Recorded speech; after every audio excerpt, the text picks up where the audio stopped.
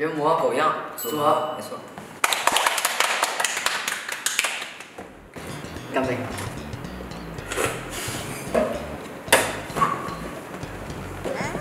最近不是马上都快过六一了吗？你想要得到什么礼物？我给你们十块钱以内的。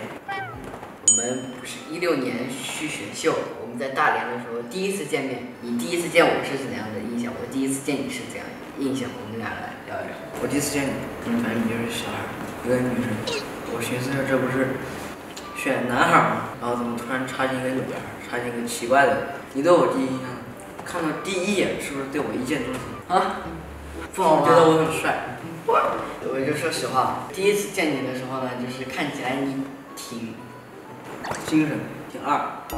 嗯，是的，因为你当时戴的那个帽子，就是现在想起来的话，就是挺二的。然后当时戴了一个那个花格子衬衫的那种帽子，这样反戴的。有时候还喜欢侧戴着睡七哥。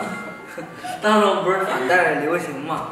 然后当时我看你跳那个凳子舞的时候，我就深深的被你舞姿迷到。越说越有我的舞迷。我我我真没想到狗妹会这么的。那你来说说以前的我跟现在的我有什么区别？没啥区别，就头发变了，变得坚强，就不哭了。你不是要一直拿着感觉拿着麦克风的谁采访你吗？你第一次见我是怎样的印象？我第一次见你是怎样的印象？我们俩来聊一聊。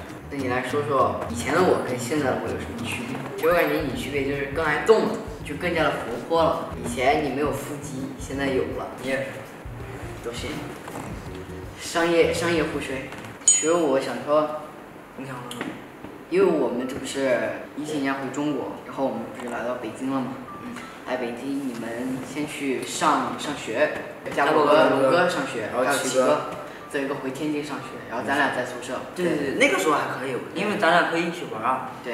因为那个时候不是我们家长爸，对，然后也会过来带着带着咱们出去玩，然后但是后来到了一八年九月份，我们不是去上学吗？对。就是，要哭了。我来说吧，是田哥还在带我们的时候，然后田哥那时候对我们特别严，我们白天去上学，然后实际上就在宿舍，上完课就练习，一直练习，特别枯燥。从早上八点起来好像是，一直等到我们下午，我们晚上六七点，然后回来，然后才开始一起。真那个时那个时候的实际上。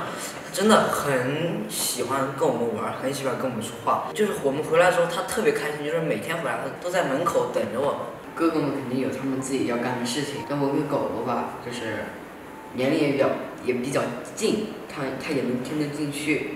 就我会跟它说一些话什么，就什么都说，就一直就是啊，我跟你没什么没有啥秘密，感觉我是我是你，你是我。哎呦喂！如果大家喜欢的话，可以去我们的 QQ 音乐，然后搜索 Boy Story，点开我们的 I O V 序专辑购买哦。就感觉那个时候就是我跟狗狗关系最好的时候。啊，现在不行了。我不是，我就说现在那个时候关系，现在就友情破灭了啊。暑假完之后，我就跟狗一块去上学，哦，也在学校认识了不少的好朋友。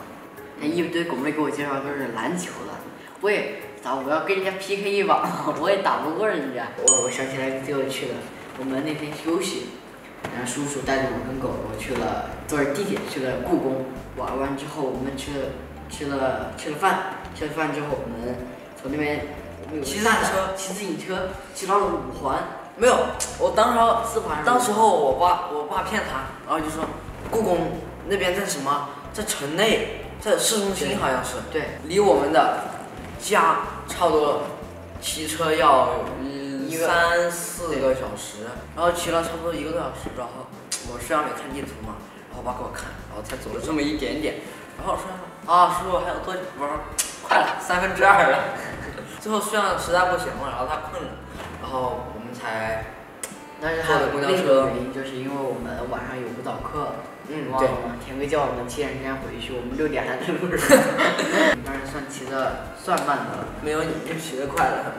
我还记得你一次吃火锅，你跟阿姨狗回来跟我们分享他做的吃。然后我加我哥，然后加我们，吃的海底捞，吃了一千多，一千一还是多少？然后我一个人吃了五四五百，我真的，我当时还不是那么的撑，你知道吗？吃完之后还出去了之后好像还喝了杯奶茶，我真的。我还记得当时我第一次去吃海底捞，他把我认成一个小女生，对，见面礼给我了一个芭比娃娃。就是，哎，当时好像就是六一，好像就是六一吃的。对啊。然后他送了我一个那个转的那个东西，然后送了虽然个芭比娃娃。真谢谢你。我们俩是属于那种，就是就真的聊，但是不知道为什么有一个摄像头在这儿，就感觉有点莫名的紧张感。这也不是说谈不上紧张吧，就感觉有人在看着你。我们一般就喜欢没人的地方，然后就随便躺着聊，躺着，躺着。就我以后少说话，懂？